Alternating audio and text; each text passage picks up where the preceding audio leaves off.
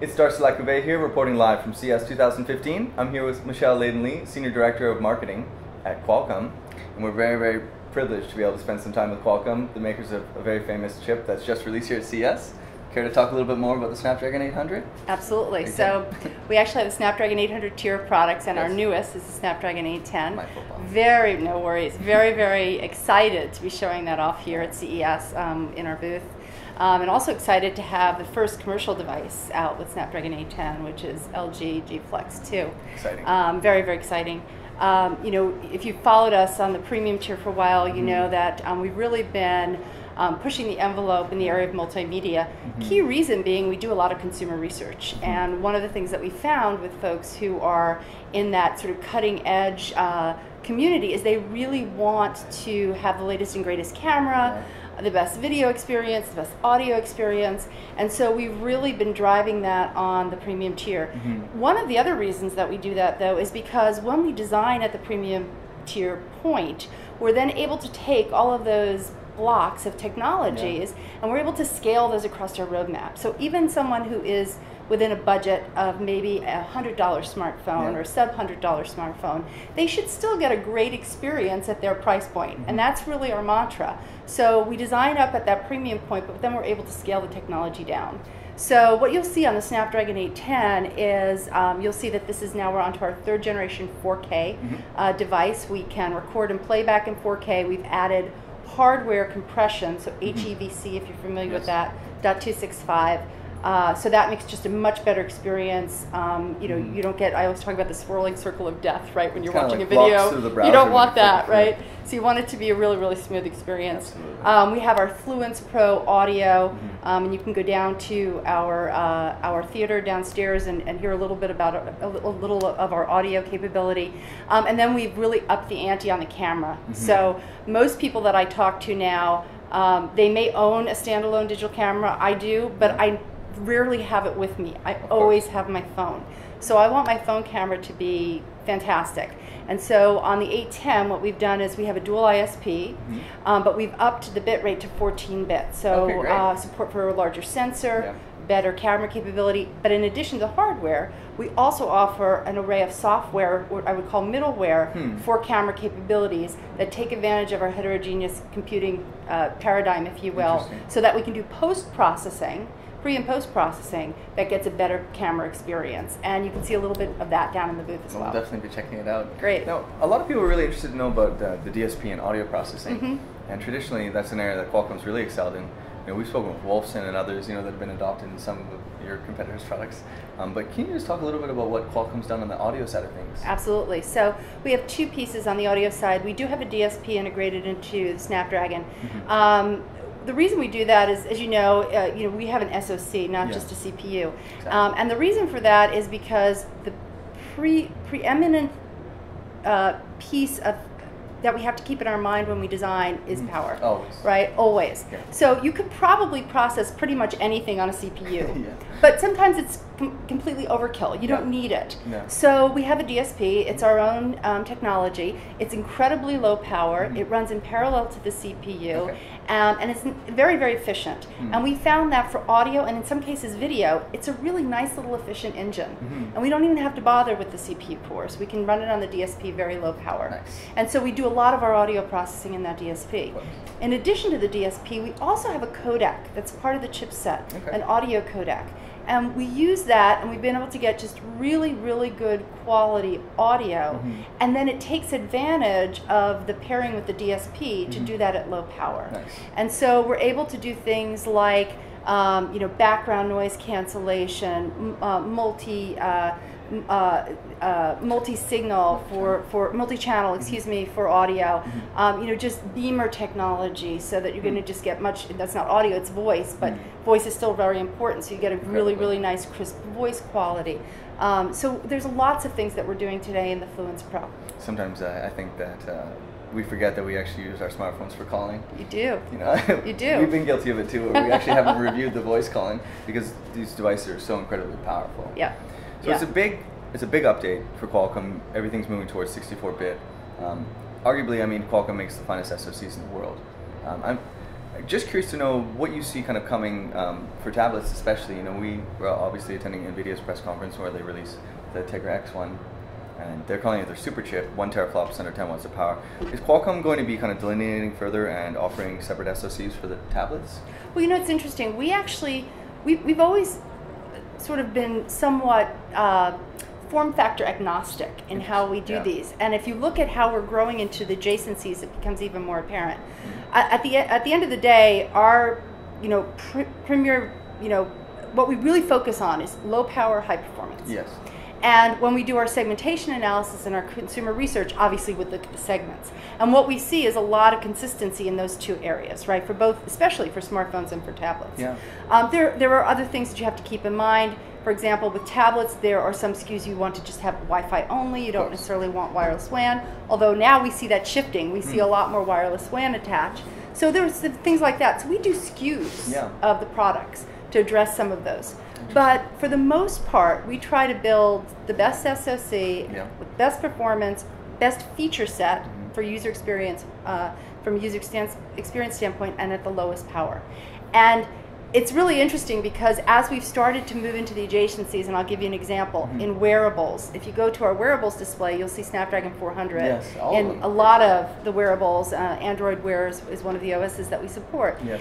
And you know, at first people said, "Well, really, really, yes." Right? Because well, but it's not because No. when you look at it, it gets you that really low power, Mhm. but it's incredibly performance oriented in terms of running a really nice high level OS, which increasingly, especially with Android Wear as a high level OS, increasingly wearables is looking like it's shifting in that direction, right? Not and it's not just watches, it's the glasses, it's other types of wearables. So, you know, we're, we're kind of proud of the fact Yeah. that we have stayed somewhat form factor agnostic, but we've been delivering the feature set that allows us to sort of extend into these other Well, adjacencies. I I think it's to do with your um, articulation on Qualcomm's philosophy when they make products. Is that Mhm. you always reach for the highest possible pinnacle you can achieve, and then you bring down all those building blocks down to lower segments, Mhm. you know, with value. I mean, consumers crave a fluid experience no matter if it's on the wrist or on their face or in their pocket. Exactly. Um, so, in terms of a kind of a power throughput increase from Snapdragon 800, and and 800, you know, look at a phone like the LG G2, which I think a lot of people really loved. It sold very well. It was one of the first to support Snapdragon 800. Like, how big of an improvement are we looking at from going from 800 to 810?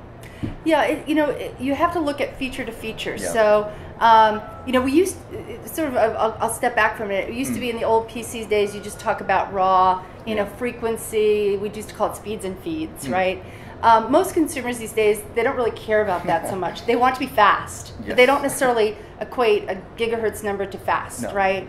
Um, in the term, in, in the case of LTE, it has nothing to do with that, right? of it's course not. throughput, right? Yeah. So um, what we look at is what, how are we increasing the feature sets that people care about? So it's things like going from Adreno 420 to or 400 initially to 420 to 430, right? Yes. And it's increasing the uh, graphics capability, and there's a lot of ways to measure that, right? Oh, you can measure yeah, it by many. pixel count, you can me- but we, I'd say between 420 and 430, we're going to get a significant increase Yeah. in graphics performance, right? That's important. UI, Yeah. gaming, post processing. The GPU has a lot to do with It camera post hard. processing. Yeah. so all of those things are important for that user experience. Camera, we went from a single ISP, Mhm. then to a dual ISP, Mhm. then to a dual ISP 14 bit. Wow. So it's it's sort of hard for me to say it's just a blah number, right? Yeah, X percent can't really performance increase. it. You can't really quantify. it. You really have to look at what's the user expe- experience. Is camera going to be better? Yeah, Yes. because at 14 bit, I'm going to be able to support a much larger sensor, Exactly. and I'm going to get a much better experience. And if you see what we're doing with even some of our firmware Mhm. or our, our software packages, if you go downstairs, we're doing and we're partnering with some uh, some some companies to do you know an increase in in zoom. Like if you ever tried to zoom on a mobile phone, it drives Not you crazy, right? Not a very good experience. No. Well, that's a problem. So we're trying to fix that, right? So it's those kinds of things that we're looking at. We're not just looking at speeds and feeds. Interesting. I mean, I'm trying to think of good questions to ask you. You know, you seem to have a great response for everything. So, in terms of the market share, Qualcomm obviously has a commanding lead. You know, had LTE dominance uh, in a lot of markets for a long time. Um, you know, you look at a mature economy like South Korea, where they have faster LTE than we have Wi-Fi in the states.